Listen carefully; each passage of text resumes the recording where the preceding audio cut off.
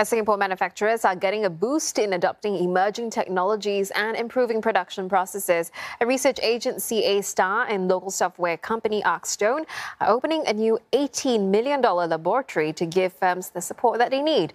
Arcstone expects the lab to hire about 30 engineers over the next three years.